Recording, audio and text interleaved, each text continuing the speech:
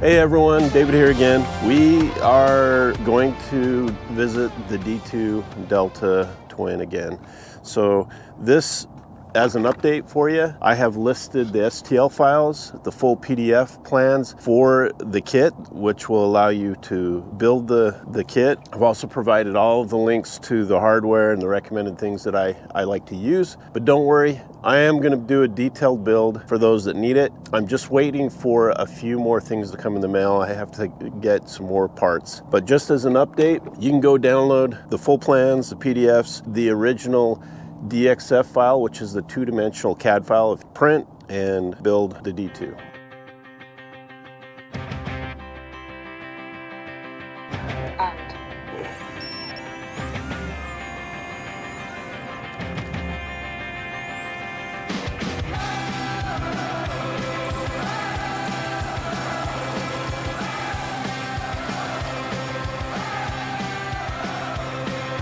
Okay, going up.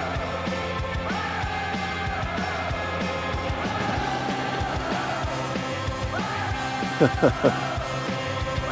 yeah, yeah, that feels so good.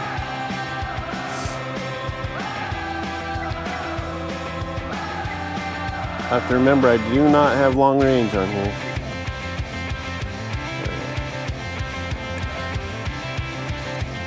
The track mode or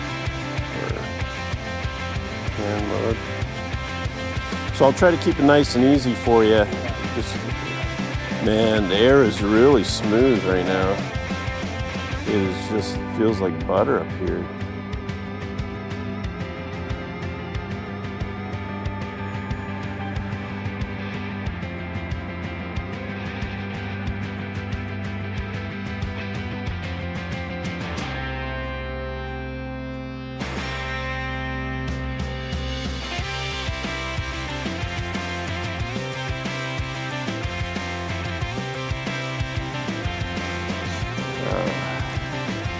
Back on the. That is one thing I have to remember is switching between the rudder and the pan.